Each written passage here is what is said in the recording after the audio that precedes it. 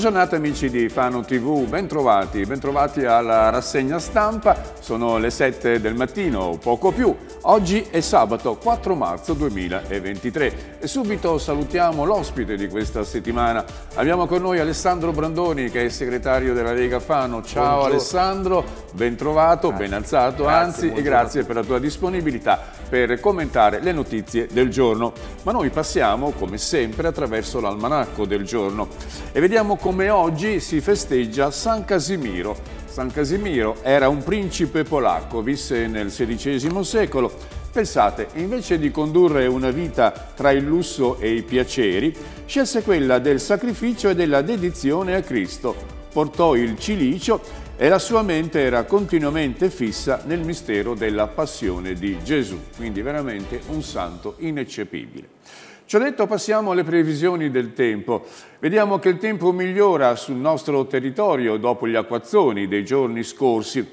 Vediamo che residua, ci sarà una residua instabilità nella prima parte della giornata. Vediamo qui la grafica sul Corriere Adriatico sui settori meridionali in esaurimento però sarà meglio altrove. Le temperature sono stabili, si aggirano tra i 4 per quanto riguarda la minima e i 10 per quanto riguarda la massima. I venti sulle coste spireranno da nord-ovest, nell'entroterra da nord-nord-est. E il mare continua a essere mosso, ci sono ancora mareggiate, sono però residue in merito a quelle più violente dei giorni scorsi.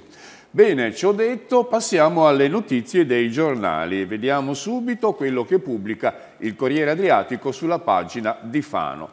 Ecco qua il titolo, si parla di carnevale, si parla di carnevale attraverso però una uh, uh, notizia che dà delle innovazioni.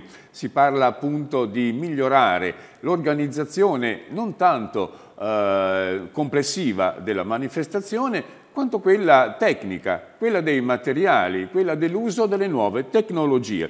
E proprio ieri sono stati presentati tre progetti eh, dall'amministrazione comunale, tre progetti sviluppati da altrettante aziende del territorio che verranno finanziati con 70.000 euro. Si tratta di innovare la movimentazione che è già automatizzata, ma verrà poi eh, valorizzata ancora con materiali intelligenti L'illuminazione sarà fatta nascere dal dentro del carro e non in superficie e poi sarà introdotta la robotica, la robotica nella movimentazione e tante altre cose, eh, soprattutto anche nell'uso oh, dei materiali. E, probabilmente la cartapesta verrà messa un po' in disparte, così come il polistirolo, e verranno introdotti dei biomateriali che sono più facilmente compatibili con l'ambiente. Cosa dici di tutto questo, Alessandro? E soprattutto qual è il tuo giudizio sull'ultima edizione del Carnevale di Fano? Ma io penso che questa sia, quella dei carri, sia stato il tema che forse in questa edizione del Carnevale ha lasciato un po' più perplessi, vedendo anche quello che hanno detto gli stessi eh, organizzatori e gli stessi carristi, eh, sia perché comunque eh, c'è stato probabilmente un problema anche eh, di ripartenza e un problema ma soprattutto di budget. E quindi diciamo che costruire, fare dei carri più tecnologici, più belli, più grandi sia un aspetto fondamentale per poter poi emergere rispetto ad altri carnevali che sono a livello di Fano.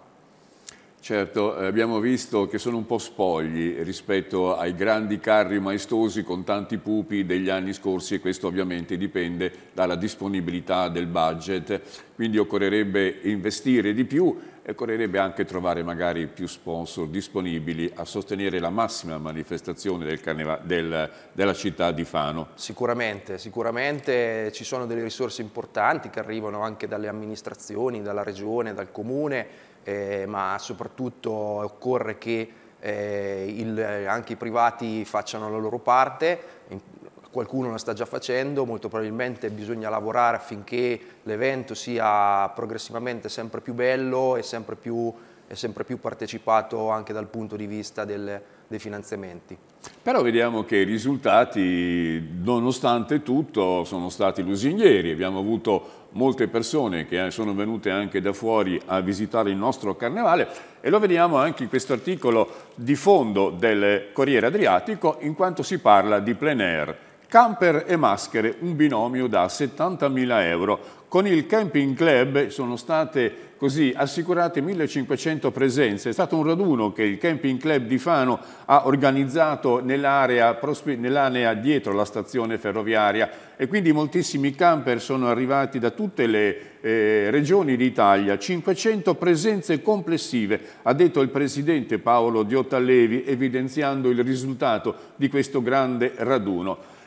Ehm, c'è un aspetto conflittuale eh, nella città di Fano, Alessandro, per quanto riguarda il plein air. C'è chi si lamenta della sosta di tanti camper, magari che è una sosta un po' disordinata, c'è chi nei parcheggi eh, mette fuori gli stendini, i tavolini, eh, c'è invece chi invece eh, considera il plein air una vera, una vera e propria ricchezza perché eh, sono, è gente che viene a Fano, che consuma eh, e che fa turismo generalmente non, le presenze sfuggono ai consuntivi che si fanno poi a livello formale, però insomma questa presenza c'è ed è costante. Cosa ne pensi? Ma io su questo tema mi sono, mi sono sempre interessato per diverse ragioni e penso che il camperismo sia una risorsa eh, ma che non può essere trattato come è stato fatto a Fano negli ultimi, non ne dico negli ultimi anni, negli ultimi decenni, dove sostanzialmente esiste un solo spazio è attrezzato,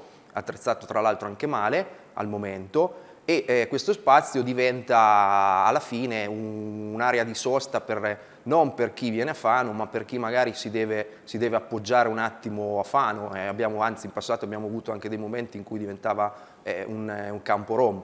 Eh, quindi quell'area lì andrebbe migliorata, magari andrebbero create delle altre aree in cui il, eh, chi viene a Fano con il camper può sostare per più giorni, viene registrato, eh, viene, viene, gli vengono promosse delle iniziative perché molto spesso quello che mi è capitato eh, è che i turisti a Fano non sanno neanche che cosa c'è Fano, una volta uno mi ha chiesto dove era, dove era il centro, dove erano i monumenti principali e, e, e, stava, e risiedeva in un albergo, quindi non era neanche diciamo, fuori da una struttura.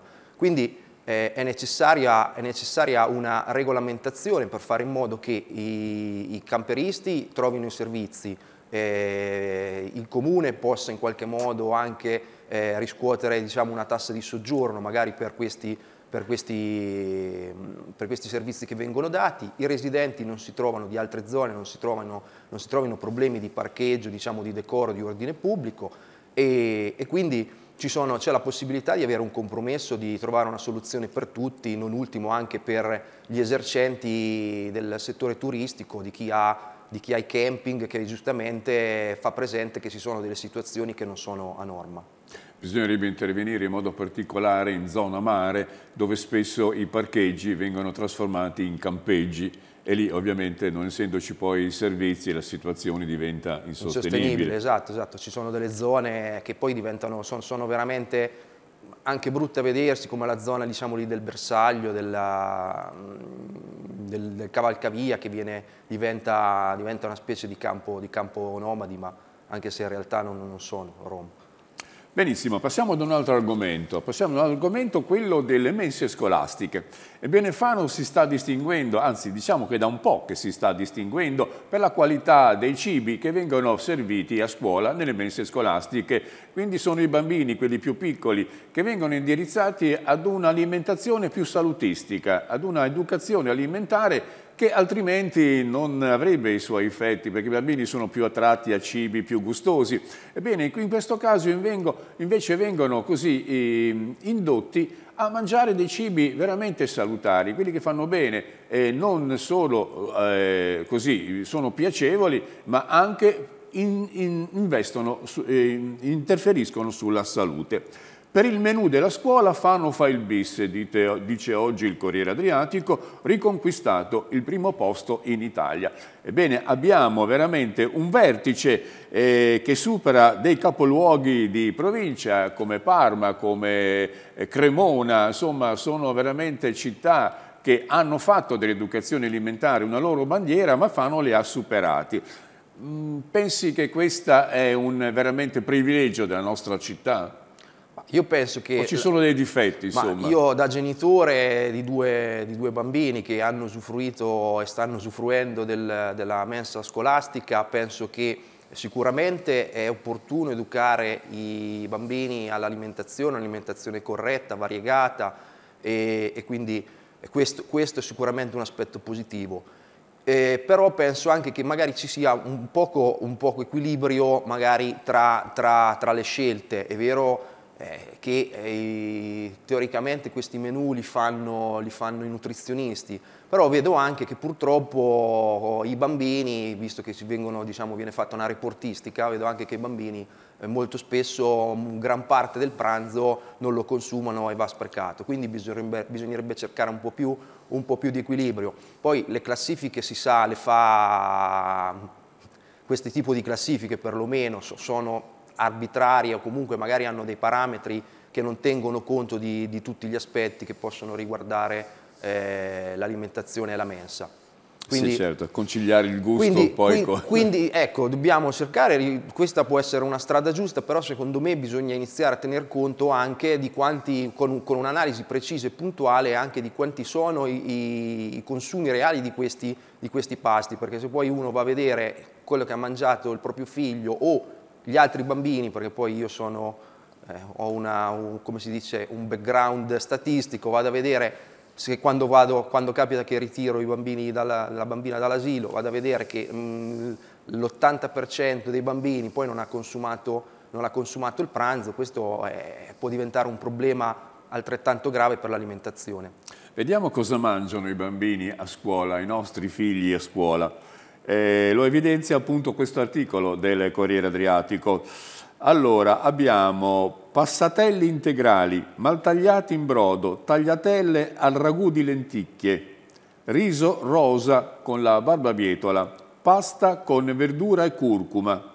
Ebbene, il Comune di Fano si è anche distinto per la utilizzazione di uno strumento di calcolo della carbon photoprint dei piatti che ha portato a modificare alcune ricette per ridurne anche l'impatto sull'ambiente, quindi si tengono in considerazione anche diversi aspetti. Comunque mangiare le tagliatelle al ragù di lenticchie, insomma, bisogna veramente abituarci invece a mangiare un bel ragù alla bolognese come eh, di solito, eh, oppure con un buon sugo di pesce come di solito abbiamo a Fano. Ma a proposito di menù, voglio farvi vedere un articolo che appare sulla pagina in fondo del Corriere Adriatico ed è questo. Fano gastronomica nel piatto dell'Adriatico. È un'iniziativa questa dell'assessorato al turismo che è stata presentata nella giornata di ieri. Fano gastronomica, se ne è parlato anche nei giorni scorsi, sta per partire. Ebbene ci saranno dieci serate in diversi dieci ristoranti della nostra città che si sono impegnati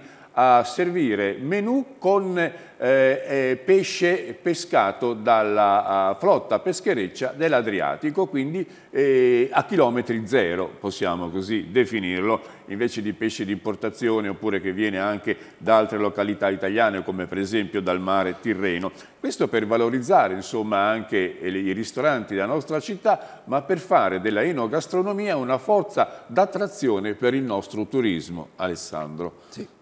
Sì, sì, un'iniziativa importante che sicuramente aiuta la promozione del, del nostro pescato, eh, che è assolutamente di altissima qualità e che aiuterà anche gli esercenti, i ristoratori a lavorare magari in un periodo dell'anno in cui eh, a cavallo diciamo, tra, tra le, la Pasqua e l'estate dove magari si, si fa un po' più di fatica ancora.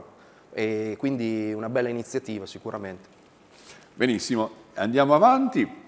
E vediamo che ieri, ieri è stato un giorno veramente di tante presentazioni, è stato presentato anche la nuova edizione di Letteraria, siamo alla decima edizione, un concorso che ha fatto dei progressi enormi, eh, salendo da livello locale a livello nazionale, tanto che è uno dei concorsi preferiti dalle più grandi case editrici della nostra uh, uh, Italia, del, del nostro territorio. Ebbene, sono affluite quest'anno 122 opere, eh, sono di autori italiani 74, 48 sono di autori stranieri di cui ci sono anche due premi Nobel. Sono stati particolarmente eh, apprezzata questa iniziativa dai traduttori che vengono invitati a Fano, quindi ci sono anche le opere straniere che vengono valorizzate. L'importante è che tutta la giuria che decide l'esito del concorso è formata da 1100 studenti che vengono sono dislocati in tutte le scuole superiori del nostro territorio. Letteraria come passaggi, Alessandro, sono due grandi iniziative che valorizzano Fano. Ma sicuramente Fano, ci pensavo proprio ieri, eh, su un altro tema, ha una vivacità culturale molto, molto associativa, molto, molto elevata. E sono iniziative importanti, specialmente passaggi che abbiamo visto che ha portato nel tempo eh, tantissime, tantissime persone, presenze a Fano, eh, iniziative che vanno valorizzate perché comunque ci contraddistinguono rispetto, rispetto al territorio, ad altre città. Quindi benvengano queste cose e benvenga tutto l'aiuto possibile che le amministrazioni possono dargli. Ed ora passiamo alla cronaca, passiamo alla cronaca perché vediamo una notizia che riguarda Fossombrone che è interessante ma che ci dà la possibilità di parlare un po' del degrado e della... Uh, aspetto sociale della, anche di tutte le città del nostro territorio. Vediamo il titolo, Caccia l'anziano per impaurirlo, è l'ultima bravata delle baby gang di Fossombrone, agguati in strada, insulti e sfottò, siamo spaventati, abbiamo detto ai carabinieri. Ebbene, quello che sta accadendo nella città metaurense è un'escalation di piccoli vandalismi, di scorribande, di spregio delle cose che appartengono alla comunità. L'ultima vigliaccata è spaventare gli anziani, sbeffeggiarli, affrontarli in gruppo quando sono soli. Queste le nuove frontiere delle bravate giovanili che però spaventano per davvero. Ebbene, il nostro territorio, sia a Fano che a Pesaro, adesso anche a Fossombrone, anche a Urbino, insomma le bravate dei ragazzi che sono piccoli, perché hanno 14, 15, 16 anni, quindi sono minorenni che si incamminano su una strada molto pericolosa, Alessandro. L'ordine pubblico è un problema per tutto il territorio. L'ordine pubblico è un problema, è un problema perché comunque eh, nel, nel, tempo diciamo che per diverse vicissitudini il, i controlli della, da parte delle forze dell'ordine, soprattutto per la carenza del personale, sono, sono sempre via via più ridotti. Dall'altro comunque c'è anche il tema che questi episodi di mh, microcriminalità o comunque vandalismi, prepotenze, derivano anche da una mh, deriva mh, non culturale, ma una, una deriva educativa eh, rispetto a un passato. Io dico sempre che eh, una volta una volta, quando, tanto siamo stati giovani tutti, quando combinavamo qualcosa c'erano, gli schiaffoni che arrivavano o dai genitori, dai parenti, qualche volta arrivavano anche dai vicini di casa e nessuno, dagli insegnanti, perché era così. E nessuno si lamentava e alla fine forse capivi, capivi qual era quali erano le cose giuste da fare. Adesso c'è una deriva purtroppo dove vediamo anche alla televisione tutto è consentito, gesti anche eclatanti, vengono, vengono difesi, questa cosa un po', eh, un po bu questo buonismo che sicuramente non aiuta i ragazzi i giovani a capire i, quelli che sono i valori, quelli che sono il senso delle cose che possono fare. Per cui se combiniamo l'effetto di un territorio che viene sempre meno controllato e questa deriva educativa purtroppo vediamo che nascono questi episodi, quindi bisogna lavorare, adesso no, non, non, non, dobbiamo tornare indietro eh, per quello che riguarda diciamo, la coercizione fisica, però dobbiamo lavorare di più con questi giovani per trasmettere quelle che sono, quelle che sono le cose giuste da fare. Ci sono due aspetti in questa notizia pubblicata oggi appunto sul giornale. Più recentemente le mamme hanno segnalato baby gang che hanno tentato di bullizzare i ragazzini, dall'altra parte invece sono quelli che hanno degli sfottoni nei confronti degli anziani. Ma qual è la composizione sociale del nostro territorio? Lo vediamo qua sul resto del Carlino. Vediamo che specialmente per quanto riguarda Fano i residenti sono in aumento, si eh, implementa un pochino di più la popolazione dopo la perdita di tutto il comparto di Marotta, le nascite però calano, calano a picco spuntano dati curiosi dell'ufficio anagrafe Crescono i single, 71% della popolazione, e diminuiscono le famiglie. La popolazione straniera si attesta sulle 4.085 unità. I più giovani a sposarsi nel 2019 sono stati due diciannovenni, sono invece 42.512 gli abitanti non ancora accoppiati, su 60.000 sono veramente una eh, enormità. E soprattutto l'invecchiamento della popolazione, Alessandro, richiede ancora di più un interesse speciale per i servizi sociali.